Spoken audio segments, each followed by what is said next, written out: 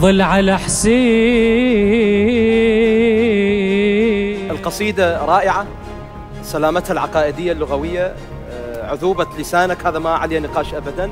شالوا راسي المصحف قبلك. أتمنى أن ننتقل من الاعتماد على المستعار إلى الأشياء الصريحة والجوابات. فشيعوا يون قلبي على الكاظم. صدق زين ليس كل من يجيد قراءة القرآن والترتيل يس يستطيع أن يكون رادودا والعكس كذلك. منتظرة جايتكم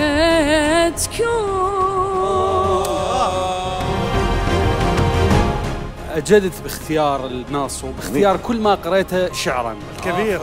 الحبيب الجميل. قحطان الرائع.